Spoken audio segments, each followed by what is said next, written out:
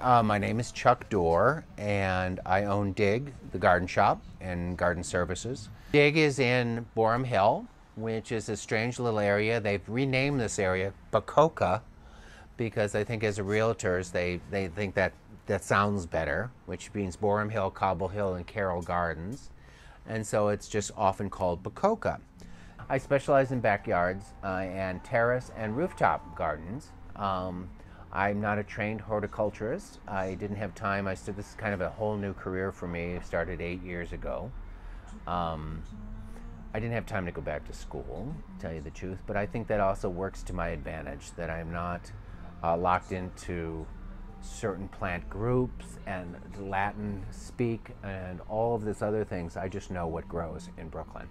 And I know what grows on your rooftop, and I know what's going to grow on your terrace and so then I can walk into a backyard, usually, and just talk to the person, say, we'll see by the toys on the floor that they have kids, or they have a whole liquor cabinet, and I think they entertain a lot. So I can see by just talking to them what they have in mind for their backyard. Most backyards in Brooklyn are 20 by 40.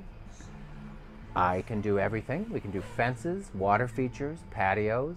So I like to think that we are a um, a group that can do anything, really. That we can go soup to nuts, as they say in the restaurant business. That we could design with your budget and saying that the the we start with the fence, move into the garden. The garden is my actual favorite part, but I still like the whole putting this all together. And my crew is a talented crew that usually can do everything ourselves.